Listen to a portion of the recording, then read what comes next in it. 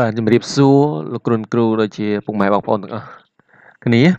តើចិត្តថ្ងៃនេះខ្ញុំធ្វើវីដេអូមួយទាក់ទងទៅនឹងការយកឯកសាររបស់យើង ទៅដាក់នៅក្នុង Google Drive បាទដែល head poll ដែលយើងត្រូវដាក់នៅក្នុង Google Drive នេះបាទគឺល្អបាទល្អយ៉ាងម៉េចទី1គឺសុវត្ថិភាព នៅក្នុងឯកសាររបស់យើងណាដែលយើងទុកនៅក្នុង memory card ឬក៏នៅក្នុង flash របស់យើងណាបាទវាអាចនឹងត្រូវមានរោគស៊ី ឬក៏បញ្ហាដូចជា computer របស់យើងនឹងវាពេញណា full អីចឹងទៅ បាទអញ្ចឹងយើងយកមកដាក់នៅក្នុង Google Drive ដែល drive របស់យើងនេះគឺអាចផ្ទុកបានរហូតទៅដល់ 15G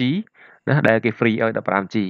បាទអញ្ចឹងគឺសុវត្ថិភាពហើយវាមានទំហំនឹងធំណាដែលយើងអាចទុកឯកសារបានច្រើនអញ្ចឹងដើម្បីយើងទុកឯកសារនៅក្នុង Drive នេះបានលុះត្រាតែយើងមាន account Gmail របស់យើងផ្ទាល់ខ្លួនមួយ ដែលយើងចាំ password របស់វាពិតប្រាកដណាដែលយើងប្រើបាទអញ្ចឹងគឺយើងអាចយកឯកសាររបស់យើងមិនថាជាវីដេអូឬក៏ជាឯកសារជាកិច្ចការដែលយើងបាន share ឬក៏យើងបានបង្កើតរៀបចំចងក្រងអីណាបាទយើងអាចយកទៅទុកនៅក្នុង Drive នេះបាន បាទអញ្ចឹងឥឡូវខ្ញុំនឹងបង្ហាញអំពីរបៀបដែលយើងត្រូវយក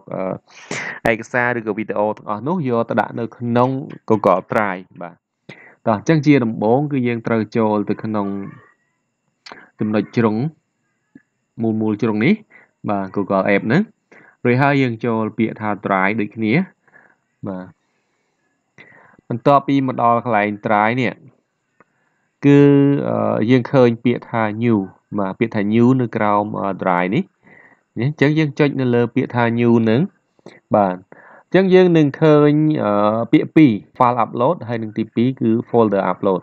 បាទសម្រាប់ពាក្យថា file upload គឺមានន័យថាយើង upload ណាឬក៏យើងទាញយកឯកសាររបស់យើងមកជាលក្ខណៈមួយ file មួយ file ជាលក្ខណៈ file file បាទដាច់ណា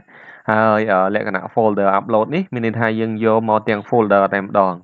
បាទអញ្ចឹងសួរថាជាលក្ខណៈ file ឬក៏ folder យ៉ាងម៉េចឧទាហរណ៍ថានេះឯកសារចំនួនស្មារតីថ្នាក់ទី12នេះគឺខ្ញុំរៀបចំចងក្រងបាទតកតងទៅនឹងឯកសារមេរៀនថ្នាក់ទី12ហ្នឹងពុកណាទាំង3ចម្ពោះគឺខ្ញុំបាន save នៅក្នុង drive C របស់ខ្ញុំនៅក្នុង computer ហ្នឹងគឺខ្ញុំដាក់ folder មួយដែលមានឈ្មោះអញ្ចឹងឯងអញ្ចឹងខ្ញុំទាញមកយកមកដាក់នេះគឺខ្ញុំទាញលក្ខណៈជា folder បាទ តែឥឡូវខ្ញុំនឹងបង្ហាញអំពីរបៀបទាញយកមកដាក់ណាយកឯកសារយកមកដាក់អញ្ចឹងទី1ខ្ញុំនឹងបង្ហាញអំពីការទាញយកជាលក្ខណៈ file upload បាទដែលយើងយកមកស្លឹកមកស្លឹកណាបាទអញ្ចឹងឥឡូវខ្ញុំយកទៅកិច្ចការនៅលើ desktop របស់ខ្ញុំតិចចុះបាទឧទាហរណ៍ថា